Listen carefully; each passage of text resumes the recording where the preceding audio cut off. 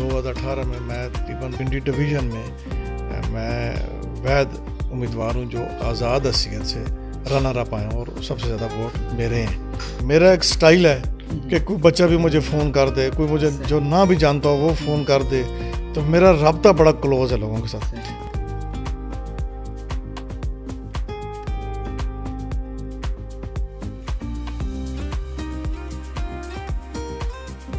रात को जब सोता हूँ तो मुझे मैं सारा दिन चेक करता हूँ कि मैंने क्या अच्छा काम किया क्या बुरा किया है। इमरान खान साहब ने आके पाकिस्तान में लोगों की अखलाकियात को तबाह बर्बाद कर दी है नौजवानों की बड़ी तादाद जो है पीटीआई के साथ मंसूब है।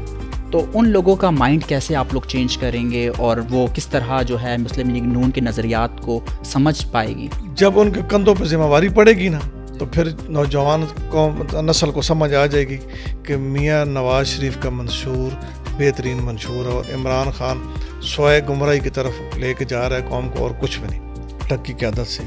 मेरी एक रिक्वेस्ट है कि ये गाली गलोच वाली सियासत अब नहीं होनी चाहिए। जी अस्सलाम वालेकुम नाजरीन आप देख रहे हैं अटक टीवी और मैं हूँ आपका मेज़बान मलिक फ़ाहद।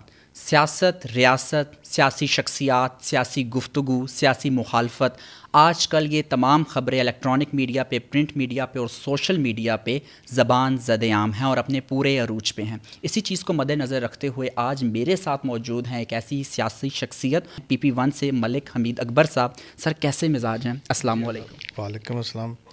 बहुत शुक्रिया जी। मिजाज अलहमदिल्ला बहुत ज़बरदस्त ठीक है। तगड़े हैं मजाज। अच्छा माशाल्लाह तगड़े हैं वो।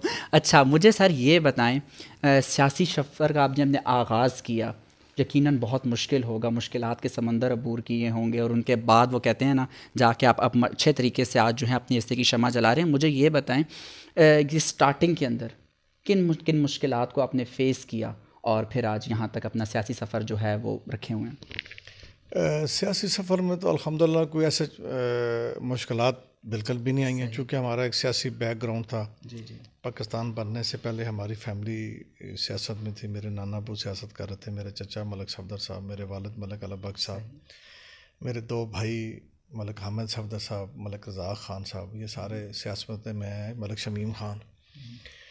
तो इसमें मेरे लिए कोई मुश्किल नहीं थी चूँकि मुझे एक ग्राउंड बना हुआ मिल गया था। मेरे लिए बहुत आसानियाँ हैं हम्म। इसमें। लेकिन इसको आगे लेके चलना हम्म। वो थोड़ी सी कोशिश थी हमारी और लोगों का बहुत प्यार था कि हम आज अल्हम्दुलिल्लाह इस मकाम पे पहुँच गए ये लोगों की बदौलत ये आवाम की बेपना मोहब्बत कि एक आज़ाद आदमी 2013 में भी और 2018 में भी अल्हम्दुलिल्लाह 2018 में मैं तकरीबन पंजाब अपना पिंडी डिवीज़न में हम्म। मैं वैद उम्मीदवार हूँ जो आज़ाद हसीियत से रनर अप आए और सबसे ज़्यादा वोट मेरे हैं। यहाँ पे बहुत बड़े बड़े घराने बहुत बड़े बड़े लोग हैं लेकिन उन्होंने भी पाँच छः सात हज़ार वोट लिए। और मैं अल्हम्दुलिल्लाह लोगों की मोहब्बत की वजह से आज मैं इस मकाम क्योंकि मैंने पच्चीस छब्बीस हज़ार वोट लिया ज़्यादा से अच्छा सर। हम देखते हैं जब मैंने आपके बारे में गूगल में सर्च किया और आपकी सारे जो पोर्टफोलियो जो मैंने पढ़ा उसमें एक चीज़ नुमाया थी कि working as a independent politician तो लोग तो डिपेंडेंट होकर काम करते हैं उसमें ज़्यादा राहत महसूस करते हैं। इंडिपेंडेंटली काम करना और इतने ज़्यादा मकदार में लोग जो हैं आपके साथ मंसूब हैं ये किस तरह ये सफ़र किस तरह आ रहा मैंने बताया ना ग्राउंड तो बना हुआ था। जी जी। फिर आ, मेरा एक स्टाइल है हम्म। कि कोई बच्चा भी मुझे फ़ोन कर दे कोई मुझे जो ना भी जानता हो वो फ़ोन कर दे। तो मेरा रबता बड़ा क्लोज है लोगों के साथ। मेरा और लोगों का जो फ़सल है ना जी जी। वो एक टेलीफोन का फासला है मेरा और लोगों के दरमियान। मेरे दरमियान मेरा कोई ऐसा है कोई नहीं कि मेरा कोई बंदा और फ़ोन उठाएगा या फ़ोन की काल की दूरी पे जो फासला हो ना वो फिर सारे हम्म, हम्म। दूरियाँ सफ़र समेट के नज़दीक ले आता है। तो इस वजह से हम्म, मुझे बहुत मज़ा आता है कि जब मैं लोगों की खिदमत करता हूँ मैं रात को जब सोता हूँ तो मुझे मैं सारा दिन चेक करता हूँ कि मैंने क्या अच्छा काम किया क्या बुरा किया है। तो कुछ गलतियाँ भी थी हुई हैं दरमियान में से तो वो अल्लाह ताला ने हिम्मत दी है कि उनको सुधारा जाए। और एक जो मेरा जो है सबसे बड़ा है ना जी कि इबादत में कज़ा है और ख़िदमत में कज़ा नहीं। जो मौका आज आपको मिला सैर शायद अगले में वो मैसर ना हो। तो इसलिए वो मेरे लिए मेरा जो एक जहन है वो बना हुआ है।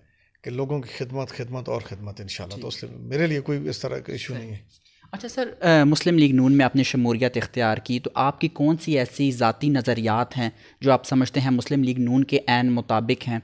ये आपकी ज़ाती राय थी या जिन लोगों के साथ आप बाहम मशवरे करने के बाद जो लोग आपसे मंसूब हैं उनसे बाहम मशवरा करने के बाद आपने इस फैसले आपने ये हकमी फ़ैसला किया? ये बड़ा ज़बरदस्त सवाल किया आपने। चूँकि 2013 से मेरा सफ़र शुरू हुआ है जो मैं एज ए सूबाई असम्बली का उम्मीदवार हूँ। पहले तो हम यूनियन कौंसिल का ज़िला कौंसिल का इलेक्शन लड़ते रहे। तो जब ये फैसला किया और 2013 से अब आ गया 2022 ये सारा जो अर्सा है मैं बड़े ही चीज़ें देखता रहा हूँ और बहुत सारी चीज़ें नोट करता रहा हूँ। यहाँ से मैंने बहुत कुछ सीखा। मैंने पीपल्स पार्टी का भी दौर देखा मैंने नून लीग का भी दौर देखा। और फिर अब बड़ा ही करीब से इमरान खान का दौर देखने को मिला है। देखिए ना हमारी जो पाकिस्तान की जो सियासत है वो रवादारी की और शराफत की सियासत है।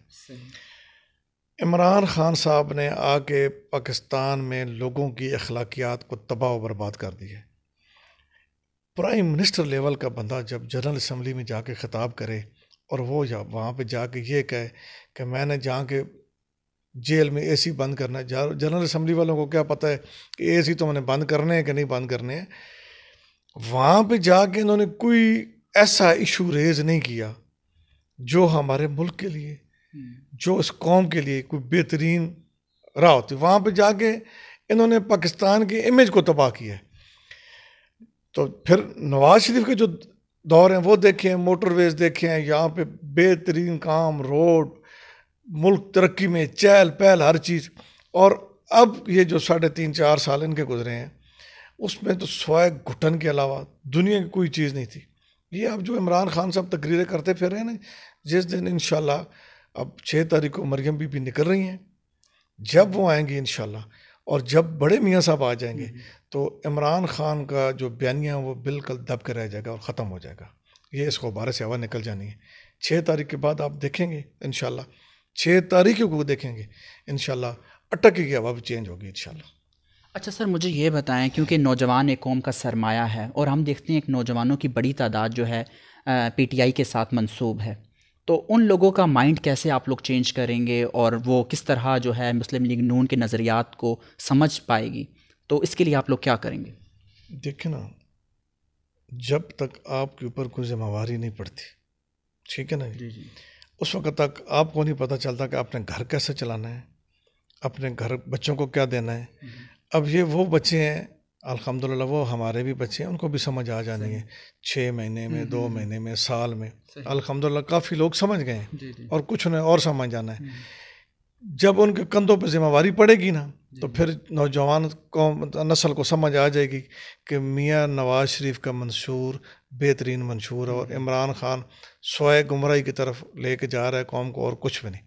सही। सर बीस हज़ार लोग जो हैं कंफर्म जो हो आ, लोगों के मुताबिक बीस हज़ार लोग जो हैं आपके वोटर और सपोर्टर हैं। तो जब आपने यहाँ मुस्लिम लीग नून में शमूलियत इख्तियार की तो उनकी तरफ़ से भी कोई इख्तलाफ राय आया? या किस तरह के मुस्बत ख्याल थे या कोई मनफी भी आए ख्याल? नहीं जी उसमें मैं तकरीबन तमाम लोगों को जो बीस हज़ार लोगों से तो मैंने जाकर रबता नहीं किया। जी जी। लेकिन जो मेन ग्रुप के लोग वो तकरीबन सभी के साथ मैंने आठ माह पहले मशवरा किया था। क्योंकि मेरी शेख साहब के साथ शेख अजमल के हम्म। साथ एक दुआ खैर हो गई थी जिसमें शेख साहब ने मुझे इजाज़त दी थी कि आप जाके टिकट के लिए अप्लाई करें। पार्टी जो फैसला करेगी उस पर हम कार बाँध रहेंगे। तो उस वक्त हमारी दुआ खैर हुई थी तो फिर वो ओपन करनी थी शेख साहब ने चूँकि करनी थी वो फिर कोरोना शरोना आ गया तो फिर उसके मेरे मामला थे कोई शेख साहब के उस वजह से डिले हो गया। तो मैं तमाम लोगों से मशवरा करके अपने से सभी लोगों ने मुझे मुस्लिम लीग की तजवीज़ दी है कि उसी में आप शामिल हो। सर सियासत के साथ आपकी गहरी वाबस्तगी रही है। जो पीटीआई वाले हैं अगर आप इस पोजीशन में और जिस पार्टी के साथ अभी आप मंसूब हैं इनके हवाले से पीटीआई को अगर कोई मशवरा देना चाहते हैं उनके सियासी करियर के हवाले से तो क्या देंगे? मेरा तो पीटीआई की तमाम क्यादत से बिलखसूस अटक की क्यादत से हम्म, हम्म। मेरी एक रिक्वेस्ट है कि ये गाली गलोच वाली सियासत अब नहीं होनी चाहिए।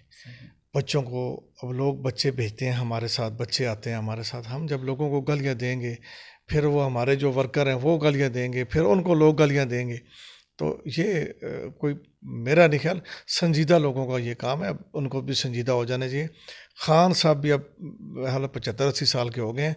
वो अभी भी मेरा ख्याल में अपने को समझ रहे हैं कि मैं अभी भी बच्चा हूँ और यूथ का लीडर हूँ। वो यूथ के लीडर नहीं वो कौम के लीडर हैं। उसको अपने आप को एक कौमी लीडर की हैसियत से अपने आप को पेश करना चाहिए आवाम में और मीडिया पे और इस तरह की गुफ्तु उनके साथ जेब नहीं देती। अच्छा सर, अटक के हवाले से बात करूँ तो मुस्लिम लीग नून की जो इनिशिएटिव्स थे, बच्चों की स्कॉलरशिप्स के हवाले से लैपटॉप के हवाले से टोटली हंड्रेड परसेंट जो फ़ीस थी वो वेव ऑफ़ हो चुकी थी। तो क्या अब इन जो आप लोगों के, अब जो नज़रियात हैं, या अब आप लोगों ने जो आपस में बाहम मशवरे किए हैं, कोई इस किस्म का इनिशिएटिव आप लोगों ने लिया है स्टूडेंट्स के हवाले से? बिल्कुल जी उसमें मियाँ शबाज शरीफ साहब बिल्कुल क्लियर हैं कि वो सारे मामला इन ताला एज़ इट इज़ ही बहाल होंगे और सारे मामला चलेंगे। यहाँ पे आपको पता है हॉस्पिटल में दस हज़ार की दवाई भी फ्री मिलती थी इमरजेंसी में। अब हालत ये है कि यहाँ पे आपको डिस्प्लिन की गोली नहीं मिलती। तो ये मामला जो हैं वो मियाँ साहब इस मामले में बहुत बहुत आगे हैं। हम्म। ये इनकी सोच भी नहीं है उस तक। वो जो बंदा चौबीस घंटे में तीन घंटे सोता है तो वो कौम के लिए जागता है इनके लिए नहीं जागता।